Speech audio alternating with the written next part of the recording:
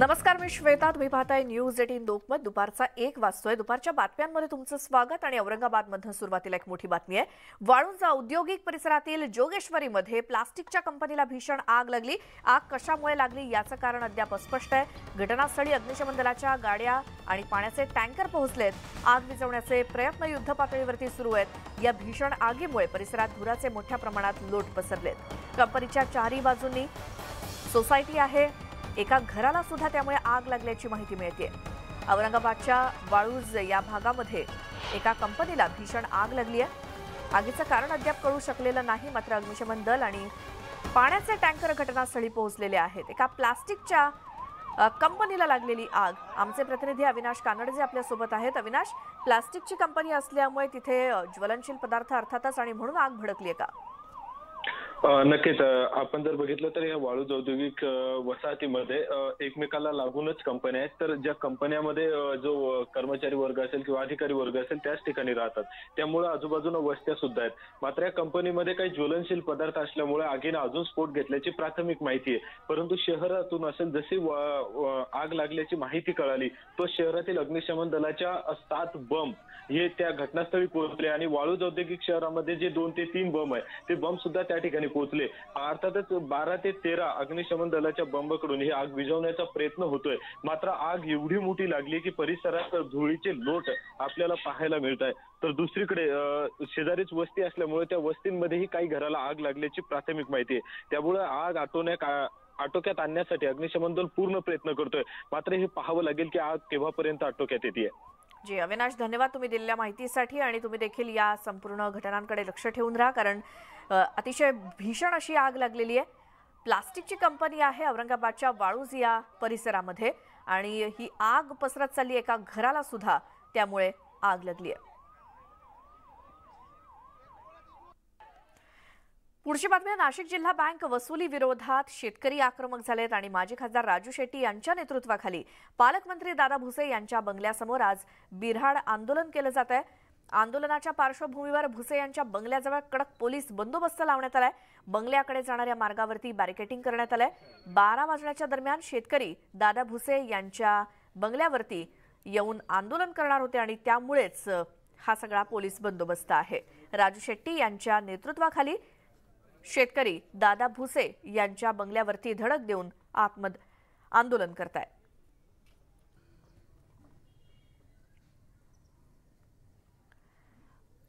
शेतकरी आपल्या कुटुंबासोबत येऊन तिथे बिऱ्हाड आंदोलन करतायत.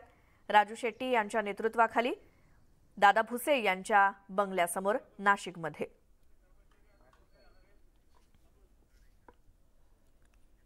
पदवीधर निवडणुकीसंदर्भात आपण एक महत्वाची बातमी पाहूयात. नागपूरच्या शिक्षक मतदारसंघाची जागा ही शिवसेना लढणार की काँग्रेस? यावरती अद्याप संभ्रम कायम आहे आणि हा संभ्रम दुपारी तीन वाजेपर्यंत दूर होईल असं काँग्रेसचे प्रदेशाध्यक्ष नाना पटोले यांनी सांगितलं. आज तीन वाजेपर्यंत उमेदवारी अर्ज परत घ्यायचा आहे. आणि विदर्भ माध्यमिक शिक्षक संघटनेचे उमेदवार सुधाकर अडबाले यांनी काँग्रेस ला समर्थन देणार असल्याचं सांगितलं. आणि या संदर्भात काँग्रेस प्रदेशाध्यक्ष नाना पटोले आणि इतर नेत्यांसोबत बोलणी सुरू असून दुपारपर्यंत काँग्रेस आपलं समर्थन जाहीर करेल असा विश्वास त्यांनी व्यक्त केला. याआधी सुद्धा काँग्रेसनं विदर्भ माध्यमिक शिक्षक संघटनेच्या उमेदवाराला पाठिंबा दिला असून तो पाठिंबा पुन्हा एकदा कायम राहील आणि काँग्रेसला पाठिंबा न दिल्यास ही निवडणूक आमच्या संघटनेकडून लढणारच असून सतरा संघटनांनी मला बिनविरोध पाठिंबा दिलाय असं अडबाले यांनी सांगितलं. काँग्रेसनं मात्र अद्यापही आपली भूमिका गुलदस्त्यात ठेवली आणि त्यामुळे नेमका उमेदवार कोण त्यांचा हे अजूनही गुलदस्त्यात आहे.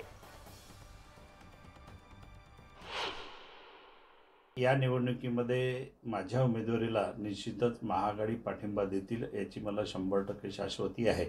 आणि यदाकदाचित महाआघाडीनं पाठिंबा जरी दिला नाही तरी मी ही निवडणूक लढणारच आहे. कारण का विदर्भ माध्यमिक शिक्षण संघटनेचा अधिकृत उमेदवार आणि जुनी पेन्शन संघटनेचा पुरस्कृत उमेदवार.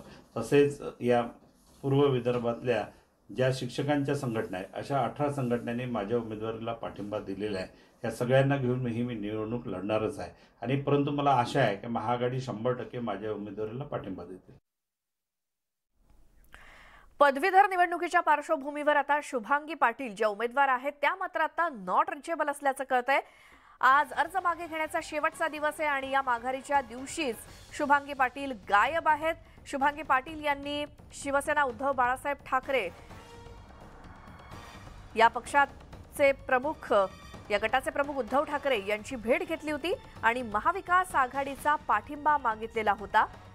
आणि याच शुभांगी पाटील आता नॉट रिचेबल असल्याचं कळत आहे पदवीधर निवडणुकीसाठी आपला उमेदवारी अर्ज मागे घेण्याचा आजचा शेवटचा दिवस आहे. आणि अर्ज माघारीच्या दिवशीच नेमक्या शुभांगी पाटील या गायब आहेत त्यामुळे तर्कवितर्क लढवले जात आहेत. त्यांनी उद्धव ठाकरे यांची भेट देखील घेतली घेतली होती आणि महाविकास आघाडीचा पाठिंबा मागितलेला होता. मात्र अर्ज माघारी घेण्याच्या शेवटच्या दिवशी शुभांगी पाटील नॉट रिचेबल आहेत.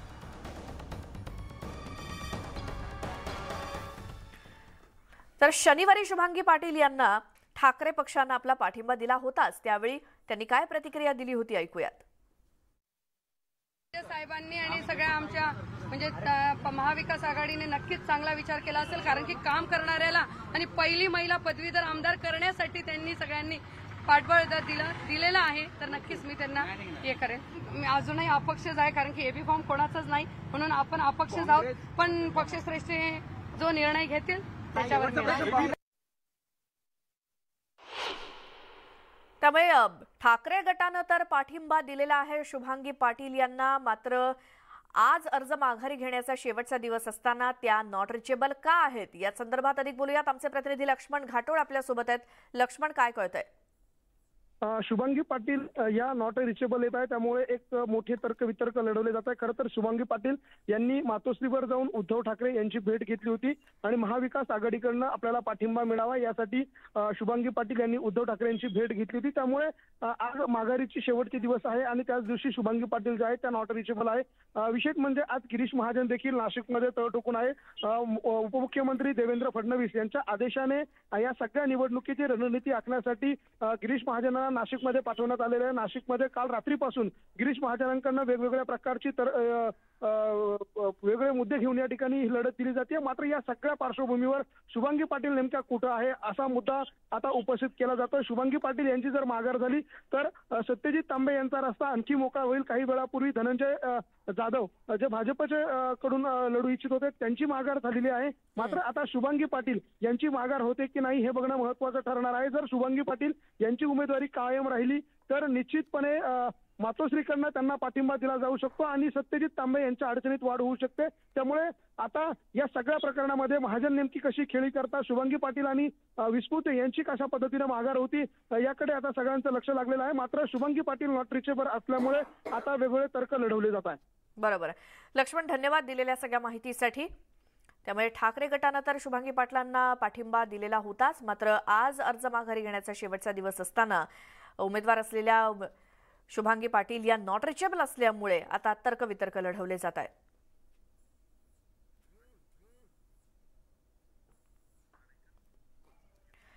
आता नागपूर शिक्षक मतदारसंघातील सर्व उमेदवारांनी मला भेटीची वेळ मागितली पण मी भेट दिली नाही असं किशोर जोरगेवार यांनी म्हटलंय. ठिकठिकाणची राजकीय स्थिती पाहत साधारणतः सर्व अपक्ष उमेदवार आपले निर्णय करत असतात. म्हणून तुम्ही असं विचारणं ते काय आम्हाला बंधनकारकही नाही आहे. की आम्ही महायुतीच्या उमेदवारांना त्या ठिकाणी आम्ही पाठिंबा दिलेला आहे. परंतु अजूनपर्यंत या क्षणापर्यंत अधिकृतपणे महायुतीच्या नेत्यांकडून किंवा महायुतीच्या उमेदवारांकडून आम्हाला असं समर्थन मागण्यात आलेलं नाही आहे. डॉक्टर सुधीर तांबे यांचं पक्षाविरोधी कारवाई केल्यामुळे निलंबन करण्यात आलंय तसंच तसं पत्र सुद्धा पक्षाकडून काढण्यात आलंय असं नाना पटोले यांनी सांगितलं. सुधीर तांबे यांचं यांचं निलंबन करण्यात आलंय. पक्षविरोधी कारवाई केल्यासंदर्भात. आणि तसं पत्रक पक्षाकडून जारी करण्यात आलंय असं काँग्रेसचे प्रदेशाध्यक्ष नाना पटोले यांनी सांगितलं. तांबेंनी काँग्रेसला धोका दिला आणि म्हणूनच पक्षविरोधी कारवाई केल्यामुळे डॉक्टर सुधीर तांबे यांचं निलंबन करण्यात आलंय तशी माहिती नाना पटोले यांनी दिली.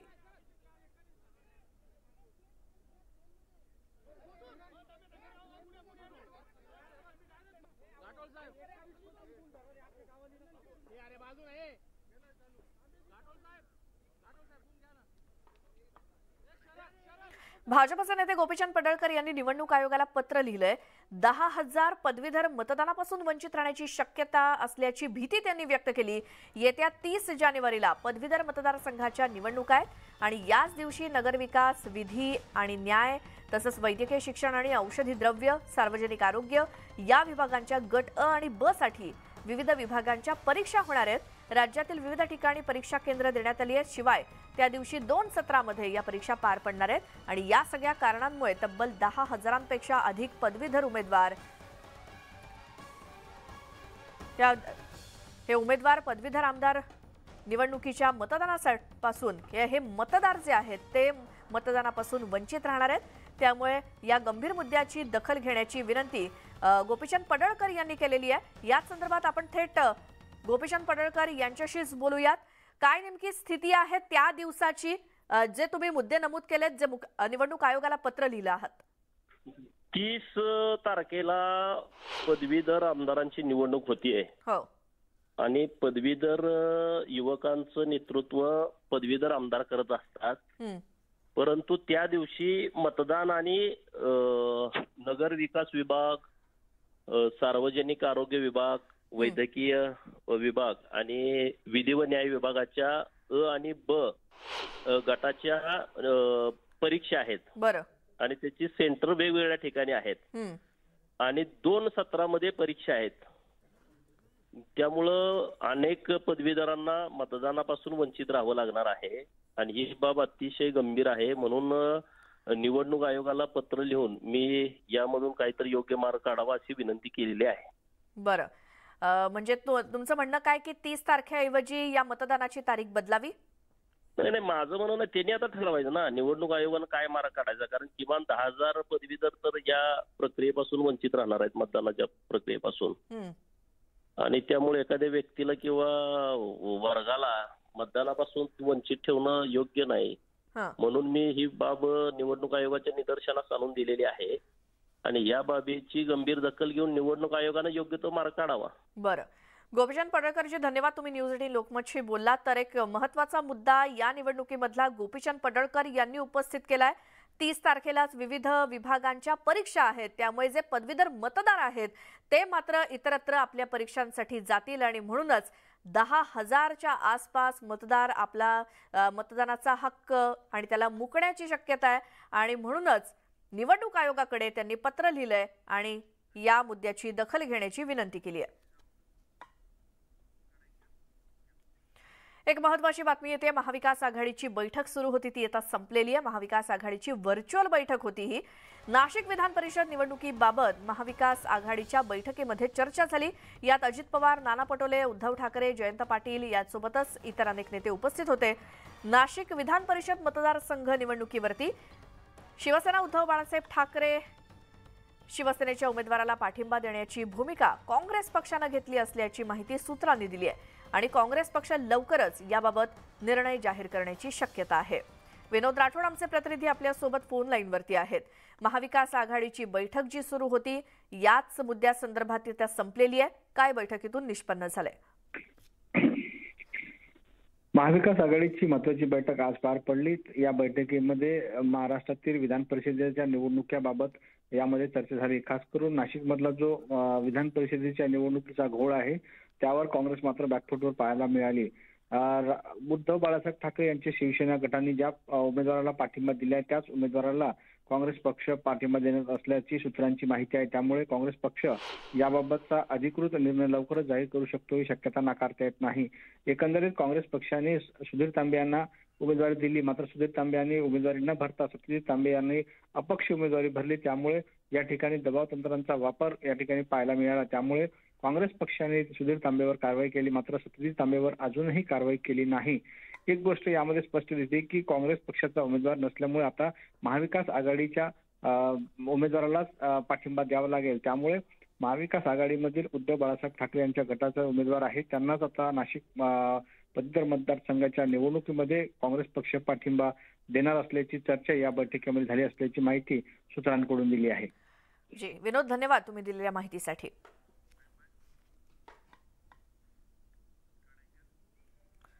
मुंबई महानगरपालिकेचे आयुक्त इक्बाल सिंह चहल हे ईडीच्या कार्यालयामध्ये पोहोचलेत. मात्र ईडी चौकशीला सामोरं जाण्याआधी त्यांनी अधिकाऱ्यांसोबत एक बैठक घेतली. कोरोना काळातील कामांची चौकशी ईडी मार्फत होणार आहे. त्यामुळे ईडीच्या प्रश्नांना उत्तर देण्यासाठी चहल यांनी आढावा घेतला. मुंबई महानगरपालिकेचे आयुक्त इक्बाल सिंह चहल यांना ईडीनं समन्स बजावलं होतं. त्यानुसार त्यांना आज चौकशीसाठी कार्यालयात हजर राहण्यास सांगण्यात आलं. कोरोना साथीच्या काळामध्ये आरोग्य सेवा पुरवताना मुंबई महानगरपालिकेत झालेल्या गैरव्यवहारांची कॅगकडून चौकशी सुरू आहे. त्यातच ईडीनं सुद्धा आयुक्तांना चौकशीसाठी पाचारण केलंय. संजय राऊत यांचे मित्र सुजित पाटकर आणि इतरांविरोधात नुकत्याच नोंदवण्यात आलेल्या मनी लॉन्ड्रिंग प्रकरणामध्ये ईडीनं हे समन्स बजावलं. कोरोना काळात मुंबई पालिकेनं उभारलेल्या कोरोना केंद्रात मोठ्या प्रमाणात भ्रष्टाचार झाल्याचा आरोप भाजपचे नेते किरीट सोमय्या यांनी केला होता आणि त्याबाबत त्यांनी आझाद मैदान पोलीस ठाण्यात तक्रार दाखल केली होती.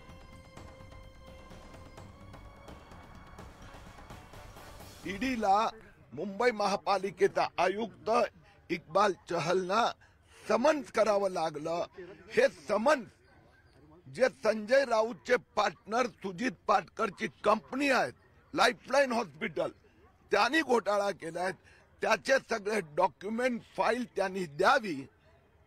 मला असं वाटतंय मला विश्वास आहे की इक्बाल चहल या भ्रष्टाचारासंबंधीचे सगळे कागदपत्र इन्व्हेस्टिगेटिव्ह एजन्सीना देणार. नाशिक जिल्हा बँक वसुली विरोधात शेतकरी आक्रमक झालेत आणि माजी खासदार राजू शेट्टी यांच्या नेतृत्वाखाली पालकमंत्री दादा भुसे यांच्या बंगल्यासमोर आज बिऱ्हाड आंदोलन केलं जात आहे या आंदोलनाच्या पार्श्वभूमीवर भुसे यांच्या बंगल्याजवळ सध्या कडक बंदोबस्त ठेवण्यात आलाय. बंगल्याकडे जाणाऱ्या मार्गावरती बॅरिकेडिंग करण्यात आलंय. आणि हे सगळे शेतकरी आंदोलनासाठी राजू शेट्टी यांच्या नेतृत्वाखाली दादा भुसे यांच्या बंगल्याकडे निघालेले आहेत.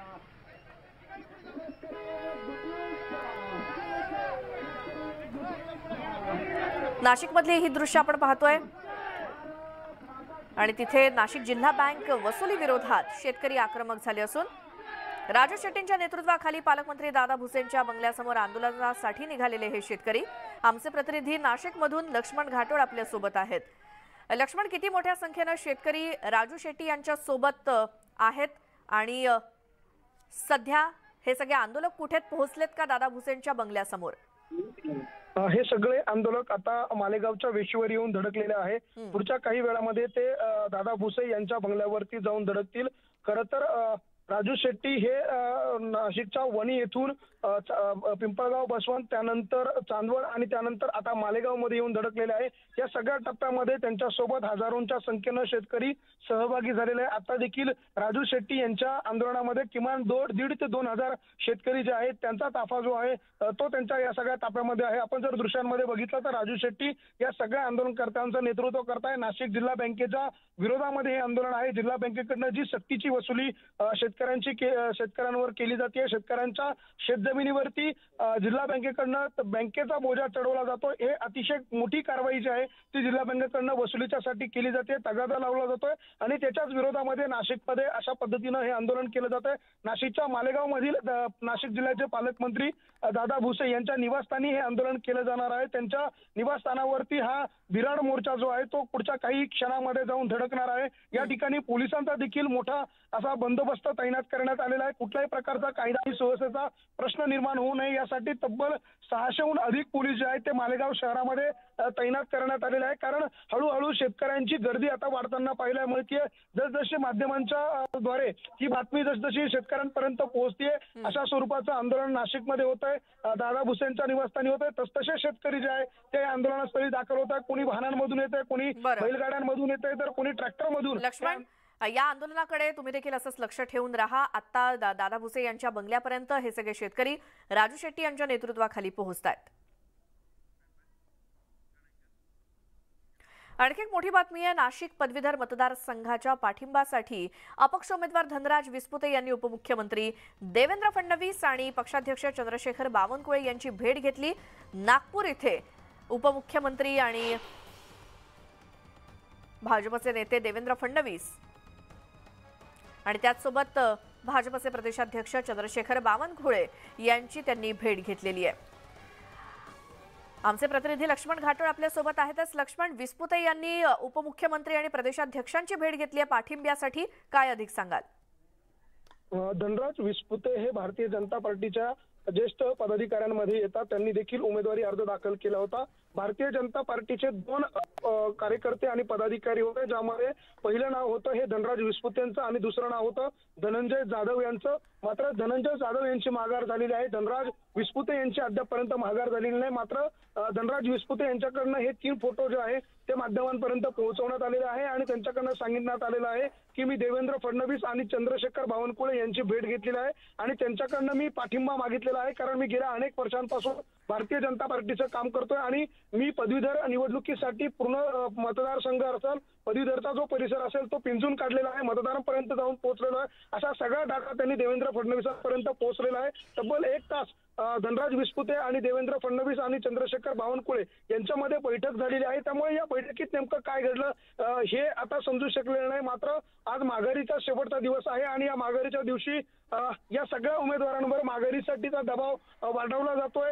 या सगळ्या प्रकरणामध्ये सगळ्यात महत्वाची गोमजी आहे ती म्हणजे सत्यजित तांबे यांची उमेदवारी नेमकी कोणाकडे असणार जर धनराज विस्पुते यांची जर माघार या सगळ्या निवडणुकीमध्ये जर झाली तर निश्चितपणे भारतीय जनता पार्टीचा अप्रत्यक्षपणे पाठिंबा जो आहे तो सत्यजित तांबे यांना असेल. त्यामुळे धनराज विस्पुते यांची माघार होते का हे बघणं महत्वाचं ठरणार आहे. आणि ह्या भेटीमध्ये जर कदाचित धनराज विस्पुते यांना भाजपचा पाठिंबा देण्याचं जाहीर झालं असेल तर एक मोठा ट्विस्ट जो आहे तो या निवडणुकीच्या दरम्यान आपल्याला पोहताना पाहायला मिळेल. बरं. लक्ष्मण थोडंसं थांबवते आपल्यासोबत. मंत्री गिरीश महाजन फोन लाईन वरती आहेत. महाजन स्वागत तुमचं न्यूज एटीन लोकमत मध्ये धनराज विस्पुते यांना भाजपा पाठिंबा देणार का? नाही अजून आमचं कुठेही काही निश्चित नाहीये. मला वाटतं सगळं चित्र स्पष्ट झाल्यावरच त्या ठिकाणी कळेल की पाठिंबा कुणाला येतात मान्य देवेंद्रजी आहेत मान्य बावनकुळे साहेब आहेत आमचे चंद्रशेखरजी बावनकुळे आहेत अध्यक्ष ते या संदर्भामध्ये निर्णय घेतील. पण अजून तरी आम्ही आमचा कुठलाही निर्णय झालेला नाही. पण निश्चित तीन वाजेनंतर आम्ही आमची रणनीती सगळी ठरवू. बरं मात्र नागपुरात जाऊन उपमुख्यमंत्री अर्थात फडणवीसांची आणि बावनकुळेंची जाऊन भेट घेतली आहे त्यांनी त्यासाठी. हो तर ठीक आहे. विस्पुते सुरुवातीपासून आमच्या संपर्कात होते. त्यांनी त्यानंतर ते मलाही भेटले. नंतर मुंबईहून ते नागपूरला देवेंद्रजींना भेटायला गेले. बावनकुळे साहेबांनी ते त्या ठिकाणी भेटले. भेट घेतली ना त्यांनी. बरं. मात्र शुभांगी पाटील आहेत ज्यांना उद्धव ठाकरे गटाचा पाठिंबा आहे तर त्यांना तुम्ही माघार घ्यायला सांगणार का? नाही मला वाटतं की त्यांनी आता आपल्या माध्यमातून मी बघतोय की तिकडे जाऊन त्यांच्या नावावर एकमत झालेलं आहे. खरं पंधरा दिवसापूर्वीच त्या पक्षामध्ये आलेल्या होत्या. पंधरा वीस दिवस झाले असतील मला असं वाटतं की त्यांनी प्रवेश घेतला. बऱ्याच दिवसापासून त्यांचं म्हणतं तुम्हाला प्रवेश द्या मला प्रवेश द्या. पण त्यांनी सांगत होते किंवा मला म्हटलं तिकिटाची आमच्याकडे गॅरंटी नाही. वेळेवर आमच्याकडून कुणाला तिकीट मिळेल काय हे आज मी सांगू शकत नाही. पण त्या म्हटलं कोणाला एक तिकीट द्या नका देऊ पण मला पक्षावर प्रवेश करायचा आहे असं त्यांनी सांगितलेलं होतं. आणि म्हणून आम्ही त्यांना प्रवेश त्यावेळेला दिलेला होता. पण आता अचानक त्यांनी सांगितलं की मला तिकीट पाहिजेच आहे ना तर वरतून रणनीती काय आमची वेगळी दिसते. जी असेल ती. म्हणून त्यांना आम्ही तिकीट देऊ शकत नाही. त्यामुळे आता त्यांनी कुठल्या पक्षात जावं कुणाला पाठिंबा द्यावं कुणाचा. पाठिंबा घ्यावा हा त्यांचा प्रश्न आहे. बरं.